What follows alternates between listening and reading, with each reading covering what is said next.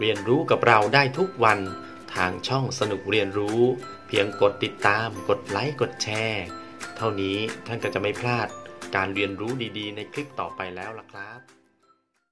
ครับสวัสดีครับ สวัสดีคุณผู้ชมทุกท่านนะครับสำหรับในคลิปนี้นะครับ สิ่งที่เราจะมาพูดคุยกันนะครับ เป็นประเด็นในเรื่องของกฎหมาย เกี่ยวกับการเลือกตั้ง สมาชิกสภาผู้แทนราษฎรนะครับ ซึ่งวันนี้ประเทศไทยของเรานั้น คณะกรรมการการเลือกตั้ง เขาได้ประกาศกำหนดนะครับ ให้วันที่ 24 มีนาคม พุทธศักราช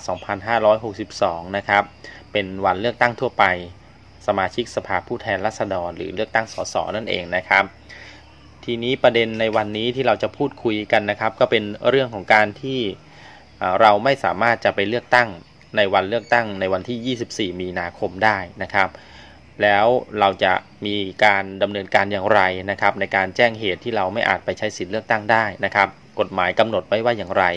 เดี๋ยวเรามาดูในคลิปนี้กันนะครับครับแต่ก่อนที่จะไปดูรายละเอียดตรงนี้นะครับสำหรับคุณผู้ชมที่อยากจะติดตามเรียนรู้ในเรื่องของกฎหมายต่างๆ เกี่ยวกับการเลือกตั้งนะครับ คุณผู้ชมสามารถติดตามเรียนรู้กับเราได้ทุกวันทางช่องสนุกเรียนรู้นะครับครับสำหรับในเรื่องของการแจ้งเหตุที่ไม่อาจไปใช้สิทธิ์เลือกตั้งก็คือเราไม่สามารถจะไปลงคะแนนเลือกตั้งในวันที่ 24 ได้นั่นเองนะครับ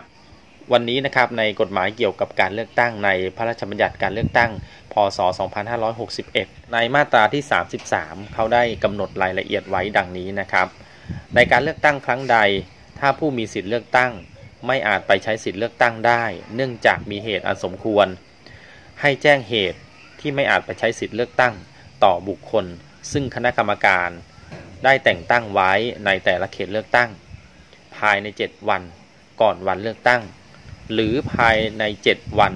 นับแต่วันเลือกตั้งนะครับ คือก่อน 7 วันก็ได้หลัง 7 วันก็ได้นะครับ แต่ถ้ามีเหตุจำเป็นไม่อาจแจ้งได้ภายใน 7 วันก่อนวันเลือกตั้ง ให้ดำเนินการแจ้งตามที่คณะกรรมการกำหนดนะครับ คณะกรรมการในที่นี้ก็คือคณะกรรมการการเลือกตั้งนั่นเองนะครับ ทั้งนี้การแจ้งเหตุดังกล่าว ก็ไม่เป็นการตัดสิทธิ์ ที่ผู้นั้นจะไปใช้สิทธิ์เลือกตั้งนะครับ ตรงนี้ก็หมายถึงว่านะครับการที่เราแจ้งเหตุว่าเราไม่สามารถไปเลือกตั้งได้ต่อคณะกรรมการแล้วเนี่ยนะครับ แต่พอถึงวันเลือกตั้ง เราสามารถที่จะเดินทางไปเลือกตั้งได้ ตรงนี้เขาก็ไม่ตัดสิทธิ์นะครับ ไม่ห้ามที่เราจะไปเลือกตั้งได้นะครับ ต่อมานะครับในเรื่องของการแจ้งเหตุตามวรรคหนึ่งเนี่ยนะครับ ให้ผู้มีสิทธิ์เลือกตั้งทำเป็นหนังสือ หรือโดยวิธีการอื่น เพื่อชี้แจงเหตุดังกล่าว โดยอาจจะมอบหมายให้บุคคลใดไปยื่นต่อบุคคล ซึ่งคณะกรรมการการเลือกตั้งแต่งตั้งแทนก็ได้นะครับ หรือจัดส่งหนังสือชี้แจงเหตุนั้นทางไปรษณีย์ลงทะเบียน หรือแจ้งโดยวิธีการทางอิเล็กทรอนิกส์ก็ได้นะครับ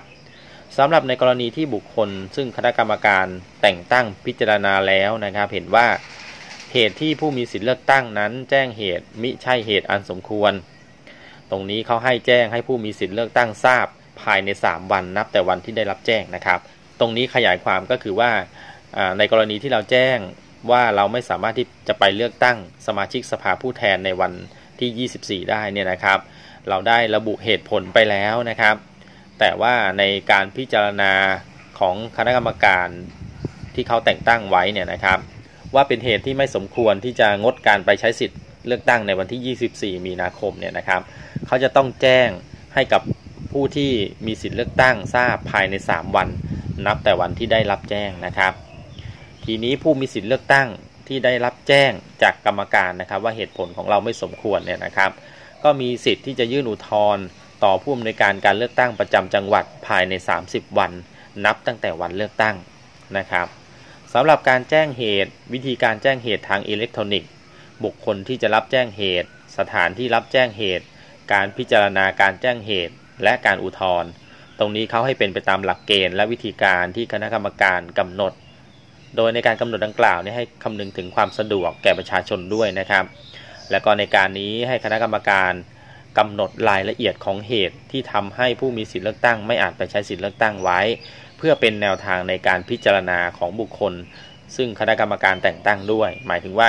วันนี้คณะกรรมการการเลือกตั้งจะต้องกำหนดรายละเอียดนะครับว่ามีเหตุ ในกรณีใดบ้างที่สามารถที่จะให้เป็นเหตุที่ไม่สามารถไปใช้สิทธิเลือกตั้งได้นั่นเองนะครับ เพื่อให้คนที่ได้รับการแต่งตั้งเนี่ยใช้เป็นแนวทางในการพิจารณานะครับครับสำหรับตรงนี้ก็คิดว่าน่าจะเป็นประโยชน์กับทุกท่านพอสมควรนะครับสำหรับท่านที่อยากจะติดตามเรียนรู้ในเรื่องของกฎหมายเลือกตั้งกับเรา ก็สามารถติดตามเรียนรู้กับเราได้ทางช่องสนุกเรียนรู้นะครับ เพียงแต่ท่านกดติดตาม เท่านี้ท่านก็ไม่พลาดที่จะเรียนรู้กับเราในคลิปต่อๆไปแล้วนะครับ ครับสำหรับวันนี้ก็ขอลาทุกท่านไปก่อนแล้วพบกันใหม่คลิปหน้า สวัสดีครับ